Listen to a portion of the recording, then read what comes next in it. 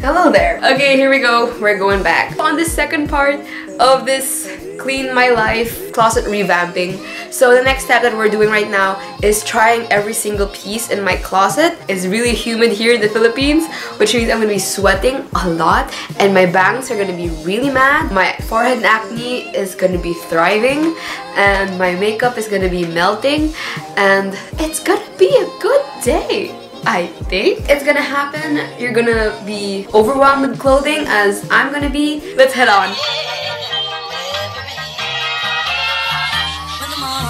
Starting off with the tops that I wrangle my HS body into, here's my share of tank tops ranging from color and design, and damn am I a sucker for details. I'm currently heavily attracted to lingerie slips that can easily elevate my outfit, and yes, oh yes, we are bringing back velvet. Another neckline that I gravitate towards is the halter or mock necks because they, not to flatter myself, work with me. And this unnecessary amount of black tanks that feel kind of like a Chinese finger trap. So exhibit A and of course exhibit B. Oh god, that's me.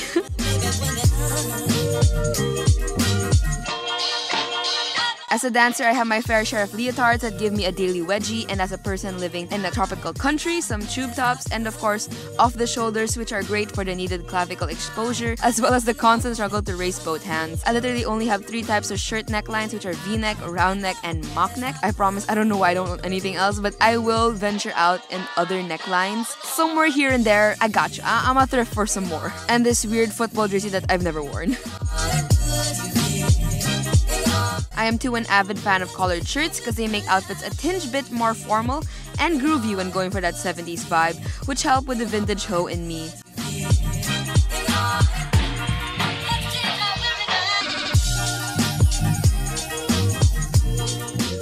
My collection of button-ups is scary, but I have a great reason since I'm entering the working force soon. My job will entail me to wear a certain type of energy, and I am 100% going for boss bitch, no doubt. And on the comfy side, long sleeve tops covering my lack of waxing for the month and for my cold ass classrooms.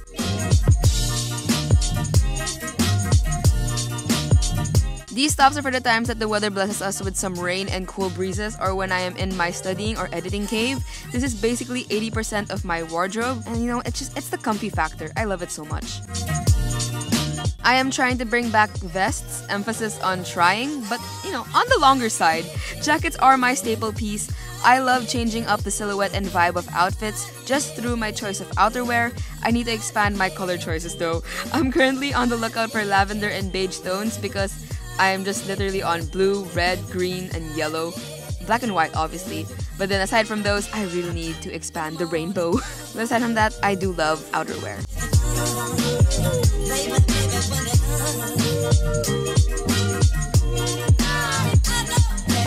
Going downstairs, we got my undying love for miniskirts. That's right, I said undying. That I wear on a weekly basis, literally almost every day. Trying to run from the college dress code of nothing ending shorter than my fingertips. I love playing with lengths and patterns because I want to half introduce myself through my outfits, and this is the best way that describes me. So it, it is most of the time short, but with a whole lot of flavor. That's right, I said flavor, not flavor, because flavor has so much flavor. Oh god, that sounds so stupid. To help out with the Philippine heat and humidity, shorts have become my best friend apart from occasional chafing. It is still a great staple, you know, for the wind and all that. Dropping it down to the flow, we got my apple bottom jeans with occasional boots and no fur, because we do not support animal cruelty over here.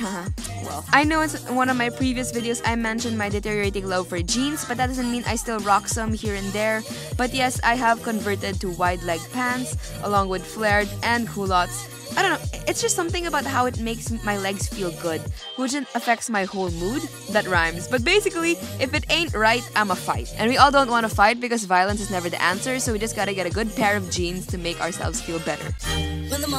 When I want a continuous air and flair, I make a beeline towards my dress section. The simplicity of wearing one piece yet it being one whole outfit still amazes me. Slip and sundresses are the majority, but I still love playing around with halter and t-shirt dresses.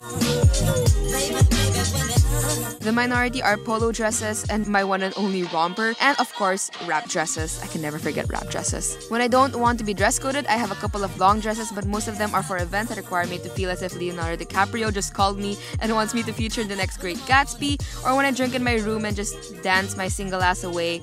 But moving on, my body can carry all of my emotional baggage, so I have material bags to help me with it.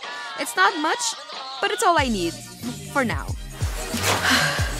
Alright, I'm done with the video. Thank God. It took me 4 days to film this. That wasn't technically everything in my closet because I still have like my training clothes and my home clothes which are basically just t-shirts and shorts that are just so not worthy. Aside from like the clothes that I borrow from my mom, from my dad, from my brothers, if I filmed all of that, I would be filming for about a good two weeks. If ever I'm too lazy to actually search through my closet, I'll just watch this video again and be like, okay, I can just wear this and this. So technically, there's a good reason for filming these kinds of videos. And yeah, there's that. I'm tired and I'm so ready to edit.